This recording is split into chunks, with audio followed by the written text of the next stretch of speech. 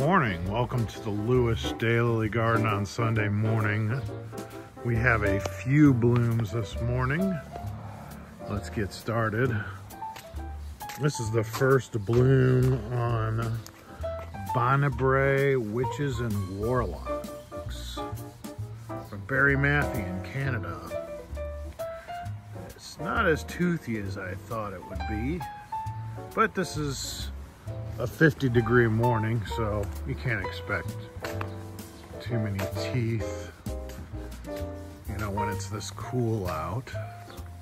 There's our clematis vine. Always pretty this time of the year. It looks like this year's bloom season is gonna be early. All right. Well, we got a seedling here this seedling, I will tell you the cross in a minute, is so-so. That's boring. And that is Tessa Ann times Ghost Gifts. Yeah, that's a cull. we got another seedling down here.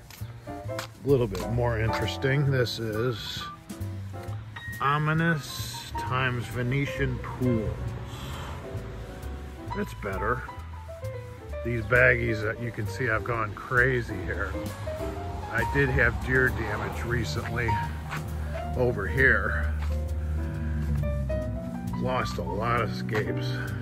Kind of disappointing because, you know, I've been using this new deer spray called Trico Pro and it's, I thought it was doing its job, but you know, lost a lot of scapes. That's all I can say. All right, here we are out in the garden. And first, bloom, well, second bloom of Green Volcano from Guy Pierce is open.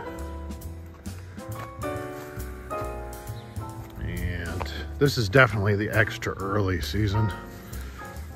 As you can see, the reliable bow tie affair is blooming. But the showstopper today has to be Get Spiked from Guy Pierce with those great teeth.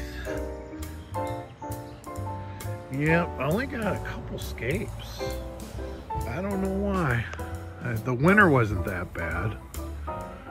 That, that, that daylily over there is Mystical Intuition, which I'm not going to bother putting on the video. All right, guys. Hope you have a good day.